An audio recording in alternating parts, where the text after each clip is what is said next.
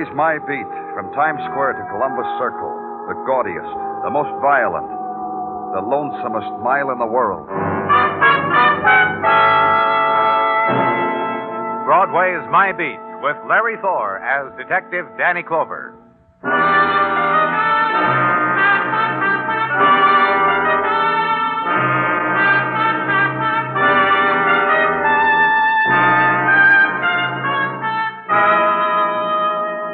When Broadway leaps into the nighttime, the sound is a thing compounded of trumpet and machine and hiss and a gaudy laugh. They melt together, and the noise you get is shock. When the month is March and the rains of spring fall softly into the riot, shock scatters and huddles tightly behind this facade and that, in that doorway, behind that window.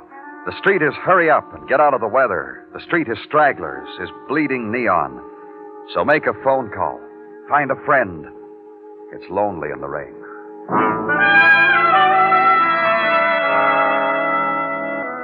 There were ceiling to floor windows where I was to enjoy the view, high above the city and look out over it, blurred now by the spinning raindrops, the penthouse apartment, and violent death on the 40th floor with its own private entrance, and Detective Muggavan kneeling over it. It's a way to die, Danny. With a 32 slug, I'd say. Shot in the back. Of course, it's frowned on by 100% sports. Who is he, Muggavan? His name's Gordon Merrick. You know, Angel Merrick. I hope he makes Angel where Merrick, huh? The show backer with a golden touch. Isn't that what the columnists call him? Yeah. They'll think of a better one after tonight. Well, let's have it, Muggavan. What happened? Well, pretty definite when he was shot. A hotel like this times everything. Calls, requests for room service, you know. Hmm. Merrick called down for champagne at 11.30 and a table service. For a two. Would you drink champagne alone on a rainy night in a place like this? Sure, for two. Waiter brought everything a half hour later at midnight. No answer. Walked in, saw Merrick lying there. Any callers of the desk you have? Uh-uh. Anybody could get on the public elevator to the 35th floor, get off, take the private elevator to here. No way of checking. That painting underneath him looks like he grabbed it when he fell. I don't blame him. All I got that resembles that picture I had to cut out of a magazine and paste in my locker. With Merrick, it's a life-sized oil painting.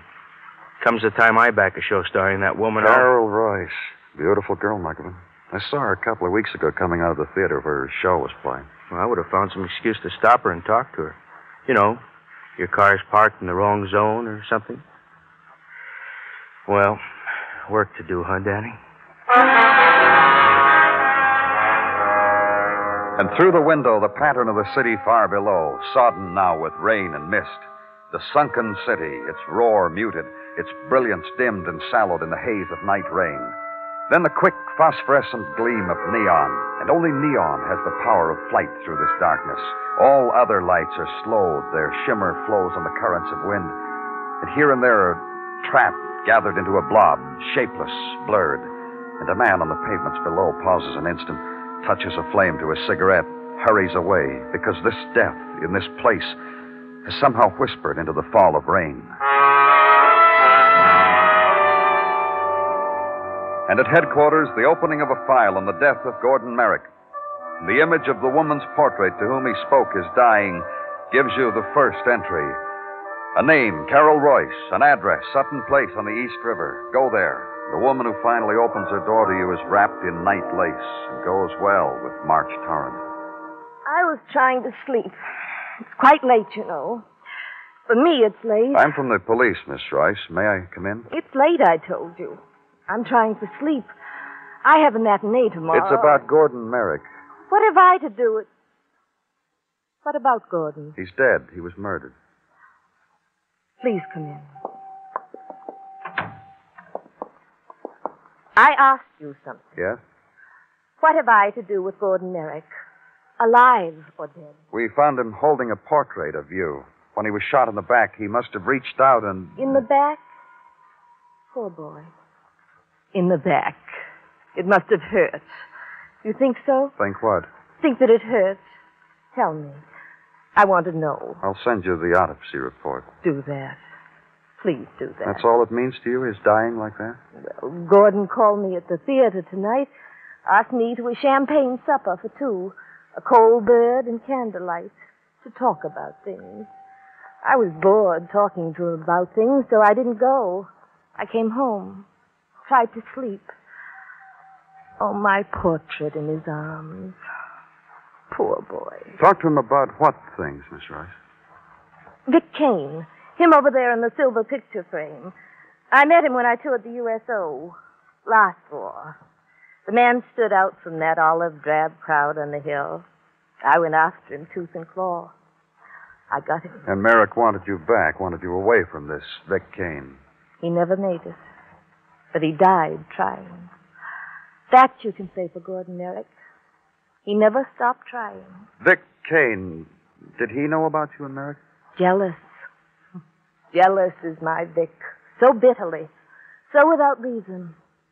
I adore the man you hear. A night filled with rain. And no Vic. You hear? Where does he live? A rooming house on 3rd. 756 3rd Avenue. But he won't be there when you go to him. I've been calling him ever since I got home. I. Hello? Oh, yes. Yes. Is it? Yes. Vic Kane? No, our eager boy stage manager calling a rehearsal for tomorrow's matinee. You, Dick, between the two of you, you've murdered sleep. Anything else you want, Dad?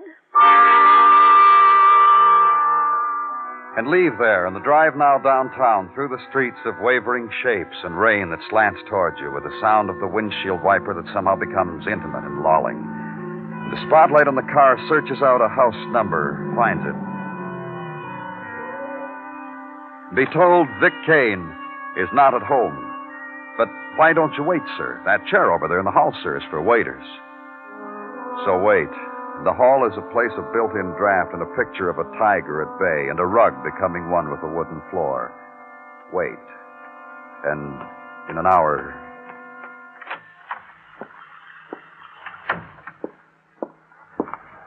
Is your name Vic Kane? Who are you? Police. Danny Clover. Waiting for me? That's right. Could have waited in my room, mister. In here, it's always open. A stinking room by the side of the road. What do you want, cop? Information about the death of Gordon Merrick. Is he dead? On a rainy night? Very theatrical. Very. He was shot in the back, Vic. You got a gun? Yeah, I got one. 32. You want a pat pat on top of your head and admiring, don't you? You just tell your boss I said you're real good. For 32 it is. Get it. Sure.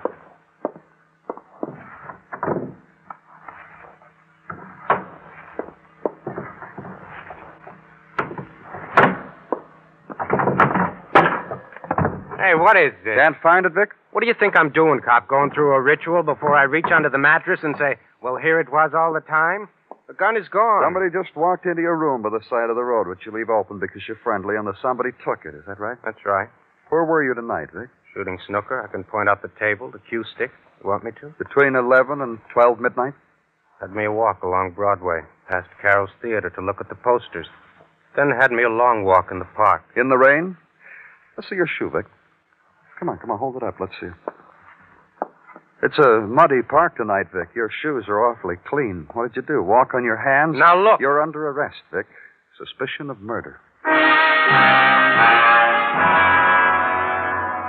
And deliver him to homicide, to the death handlers for further questioning, further probing.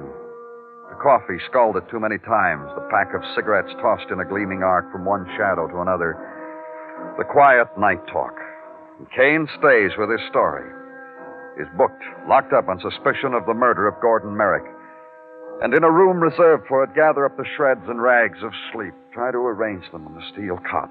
Not quite make it, because too quick there's a gentle clutching at your shoulder. Danny? Danny, sorry I have to bother you, but there's a man waiting for you in your office. A couple hours now. I tried to let you sleep as long Walk away from sleep to where the man waits. A bulk of a man, his hand like a clump of cold iron in your yours, and his voice soft, surprisingly soft. I wish I didn't need to disturb you, Mr. Clover. You boys work hard. Need all the dreams you can steal. I know. Anything I can do for you? If you care to, you can. It's a matter that rests entirely with you, my position being rather ambiguous in this thing. Which makes me a pleader, Mr. Clover. A special pleader. For what? I'm a private investigator, Jackie Scarn. I've been retained this morning by a Miss Carol Royce to investigate the murder of Gordon Merrick, which you were handling, I understand. You see now what an ambiguous position she's placed. You could have told her you didn't want it. You could have told her the police were handling it. You've seen her, Mr. Clover. You talked with her at the moment when she expected another caller. You'll understand my receptiveness. That's in the large fee. She's paying you to find Vic Kane innocent of Merrick's murder? An observation not too astute, considering how deeply she loves this Kane man. No offense, Mr. Clover. Honestly, no offense. If you took the job, you must believe that you can do that. Prove Kane's innocence. Otherwise, you'd be Taking all that she offers under false pretenses? Not true, Mr. Clover. I shall work very hard and with integrity. If I prove nothing, I get nothing. Only expenses. It's a thing we've grown to admire here, Mr. Scarn, integrity. Then you'll admire me. And since I must begin the process somewhere, your permission to speak with the Kane man in his cell? That is, if it's. Uh... Uh, Danny Clover here. Muggavan, Danny, get down to the morgue. Got a thing for you. Real interesting thing. Right away. You want to talk to Kane. That's your special plea, Mr. Scarn? Exactly. So I, too, can earn my keep. Tell them at the desk I said you could have an hour. Go ahead. Prove his innocence, Scarn. I'll admire you when it happens.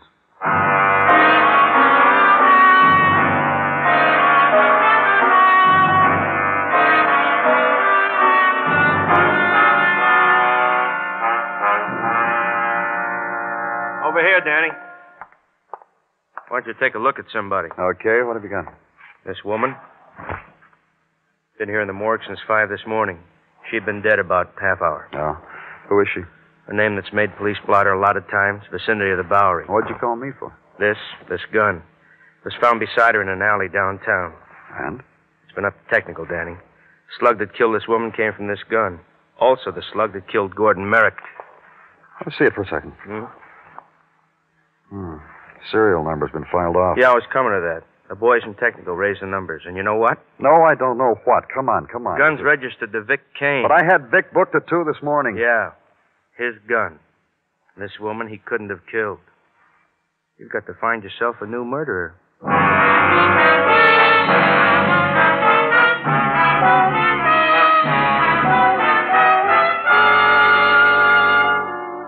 You are listening to Broadway's My Beat, written by Morton Fine and David Friedkin, and starring Larry Thor as Detective Danny Clover. Now here's a word from Burt Lancaster, star of the motion picture The Crimson Pirate. This is Burt Lancaster. I've been doing quite a bit of traveling around the world lately, either on location or making personal appearances. But I always keep in touch with Hollywood by listening to the Lux Radio Theater every Monday night over the CBS radio network. To radio actors, the Lux Radio Theater is Hollywood. Because you can always be sure of hearing the latest and best motion pictures with the original stars. Why don't you tune in with me to the CBS Radio Network next Monday night and hear some fine entertainment on the Lux Radio Theater? This Monday night, it's Barry Fitzgerald, Ann Blyth, and Dennis Day in Top of the Morning on most of these same CBS radio stations.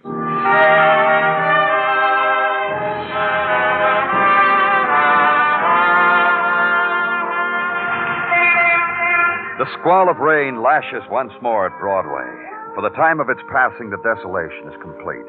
Only the gutters run with movement. Only the pavement receives, reflects the shrieking of spectaculars, the insinuations of neon, the whisperings into nothing, the shrill promises offered on rain tossed wind.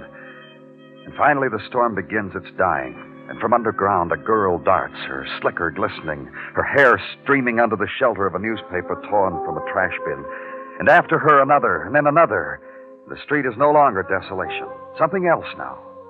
Something that happens after rain. And from a window, consider it. Follow the trickle of a raindrop with your finger. Consider that in this passing storm, a woman had lain dead in an alley.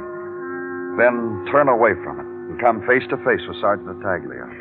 Uh, rain is indeed a moody thing, eh, Danny? Oh, well, hello, Gino. I tossed a similar comment to Mrs. Tartaglia during the night. I knocked on her shoulder, woke her up, and said, Mrs. T, rain is a moody thing. It taps on windows, calls up memories of tothood. You woke her to tell her that? Once she woke me about snow. We have an understanding about things like that, Danny. I'm glad for you both. I shall tell Mrs. T you didn't mind I woke her up. Thank you, Danny. And me, Gino. Uh, what do you have to tell me? And then the woman found dead with the same gun which did murder one Gordon Merrick. What about her, Gino? A woman, Sophie Henry by name. A frequent caller at the precinct pokey, a frequent instigator of brawls, friendly riots, etc., etc. A record up to here, Danny. Anything in it about a connection between her and Gordon Merrick? None, Danny. Was gone over by the department with tooth and comb. No connection. Anything else? Her address, if you need it. Besides the poker, your flea bag in the Bowery. I scrawled the name here, Danny. Take if you need. You're welcome. That boy we're holding for Merrick's murder, Danny. Vic Kane. What about him? Do we release? Not yet, Gino. There's still an answer I've got to find. Why Sophie Henry was killed with his gun.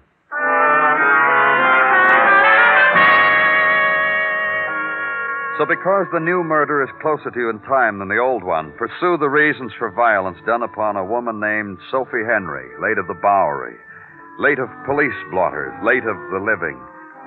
The ride downtown to the tip of the island. The streets are clean now after the rain. The chalk on the wall faded. The gutters running deep and turbulent for the five year old sailors of matchsticks. The address you're looking for is spliced between a grocery store and a bar. And note briefly that the cat in the bar window is the fatter.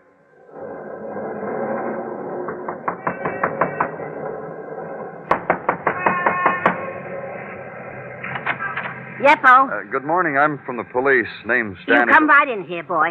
This way, right in, sonny boy. Oh, my, what a day, what a day, what a day. Meet your brother. Hello, Mr. Scarn. Good morning to you, Mr. Clover. I Uh, your brother? He's a cop, too. Ain't had two cops in here at the same time since the time Miss Flybusher threw a fit. I hope I'm not intruding into your jurisdiction, Mr. Clover. You got your job to do. And nobody threw a fit today. well, uh, what do you sonnies want? I'm sure we're both looking for the same thing, Mrs. Polk. Oh. Please, uh, watch the elbow, Mrs. Polk. Uh, uh, this sonny just told me about Sophie. Uh, she's dead, he tells me. So what do you want with me? I want you to help the police find out who Who had... killed my Soph, sonny? Who did that to her, huh? Who beat and threw her in an alley to die like that? Who would do that to my little Sophie, huh? She was doing that when you knocked on the door, Mr. Clover. Now you're all caught out. You found out anything, all this, that uh, we ought to know? Believe me, I'd be the first one to let you know. How come you're here? Well, you must know, for an identical reason that you are. The papers had it. My client's gun killed this woman, Sophie Henry. Hey. Yes, Mrs. Polk? How about me? What about you? Ain't you got questions to ask me? Well, promise you won't go hysterical again when I mention Miss Henry's name. Scout's honor. Just answer this question. When was the last time you saw Miss Henry? Well, when the hall phone woke me up last night, and the gentleman said, get Sophie to the telephone. And so I did. What gentleman asked you that? Did he give his name? No, didn't give his name. I called Soph to the phone. what time and, uh, was this, Mrs. Polk? What time? Uh, well, uh, uh, about midnight last night. After the call, she got dressed like always and she went out, so I closed my door and went back to sleep. Ah, poor Soph. You know, she was like a little girl. Nothing you couldn't ask her to do, and she would do it right away. She was Let's always. get out of here, Scarn. Uh, just one thing, Mr. Clover. Looks good for my client, doesn't it? How can you possibly figure Vic Kane, the killer?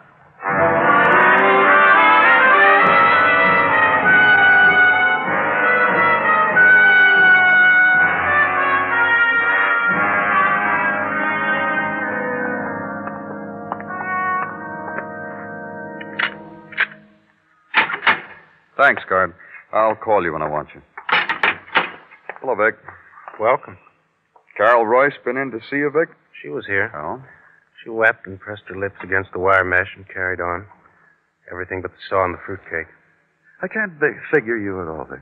Yeah, yeah. Police psychologist had a go at me a little while ago. Ran screaming down the hall. I can't figure you, Vic.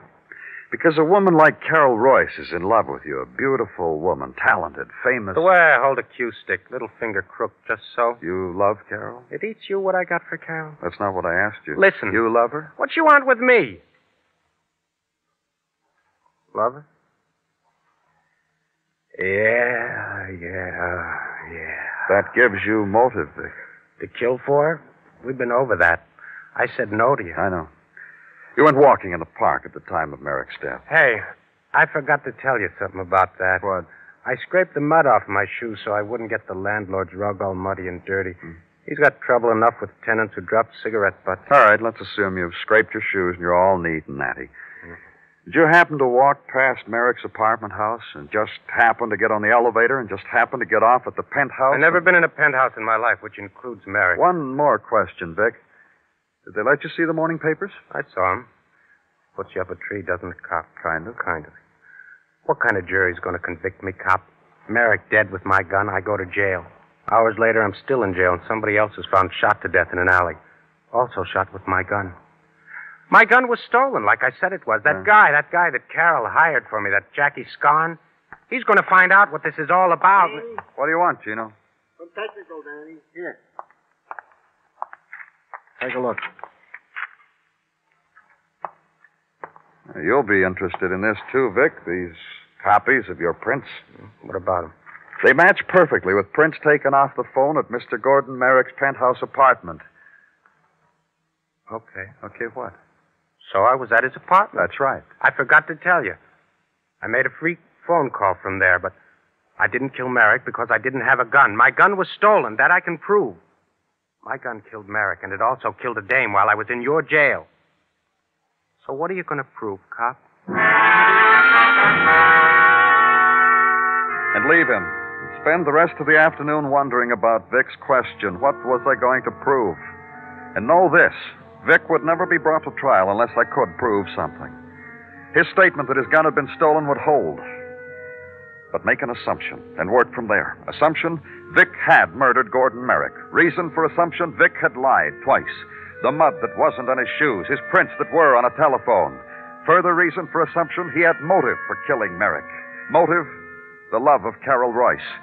What needed to be known now was how the murder gun was found in the Bowery beside a dead woman.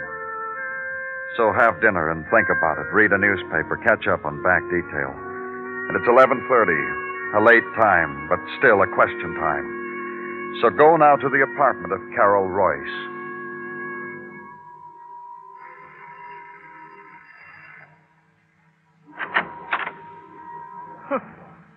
It's getting habitual. I open the door and it's you. Mind if I come in? A well turned question. Yes, I mind. Mind if I ask why? Because I'm dressed like this. My third act costume happens to be this negligee, and I rush right home. We've got to talk, Miss Royce. If you want to change, I'll wait. Well, a packed house saw me like this tonight.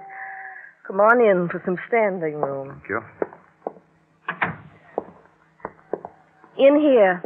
And don't stand too long. It gets me nervous. Say your say and get out.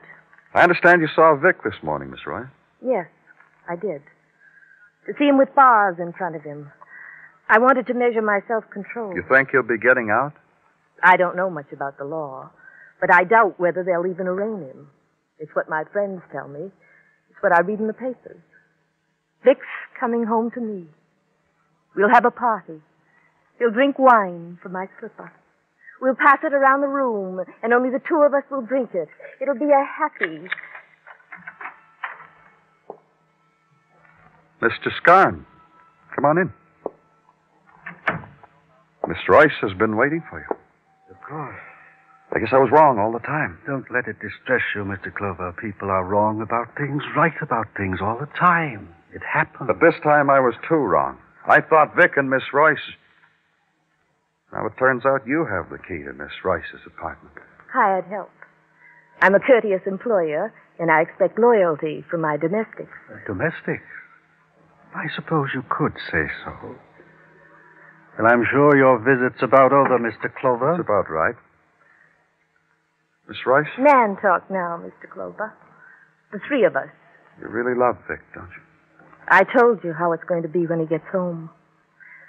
When's he going to come home, Scarn? That's up to Mr. Clover, my dear. But it shouldn't be too long. He'll be held where he is for trial, and the trial is going to be for murder. Scarn. Does he know what he's talking about? No. When's Vic coming back to me? Soon. Soon. You can believe that if you want, Miss Royce, but that's not the way it is. Vic Kane killed Merrick out of jealousy over you. Scarn! Gently. Gently, my dear. I told Did you tell her Vic's prints were found in Merrick's apartment? Oh? gently. I paid you. You said it would be all right. The situation doesn't warrant so much drama, my dear. It's really a very simple situation. Let's start from there. Vic killed Gordon Merrick out of jealousy over you, Miss Royce. He used Merrick's phone, called you, told you what he'd done. Listen to him. Listen to him, Scarn. So Miss Royce got in touch with you, Scarn, and you set up a thing. I'm sure Miss Royce is quite bored with all this now, Miss. Are you, Miss Royce? You set up a thing, Scarn. Picked up Vic's gun where he left it in his room, then killed. Shut up! Gently. Gently, my dear. That's right, then killed. Scarn got hold of a woman named Sophie Henry, murdered her with Vic's gun. Did. You did. You did. Look, Clover. That way, Vic would never be brought to trial. Lack of sufficient evidence. His story about his stolen gun couldn't be disproved. He- Look, Clover, all I get out of this is expenses, like I told you. I don't help in any way. I get practically nothing. But you helped. You did a lot. You got a reward coming if you want. Let's go, Scarn. That's Carol Royce, Clover. No? Then we'll have to do it another way. Won't way. The way you want.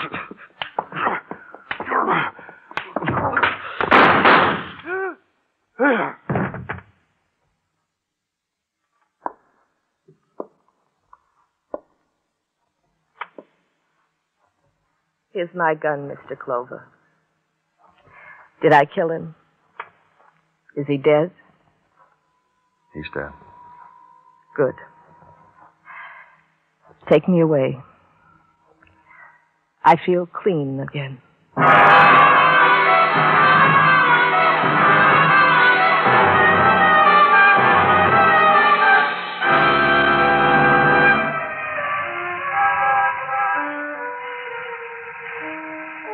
Broadway's almost empty now, except for those who never quit. Those who wear peepholes for eyes, the dream walkers, the people who want to laugh, the search behind doorways, in alleys, through shuttered windows. They never go home because they can't. It's Broadway, the gaudiest, the most violent, the lonesomest mile in the world. Broadway. My beat.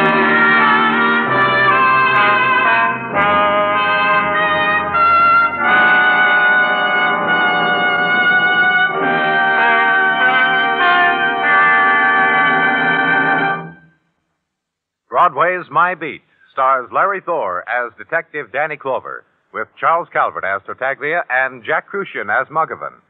The program was produced and directed by Elliott Lewis, with musical score composed and conducted by Alexander Courage. In tonight's story, Rita Johnson was heard as Carol Royce, Herb Butterfield as Jackie Scarn, Martha Wentworth as Mrs. Polk, and Paul Richards as Vic Kane.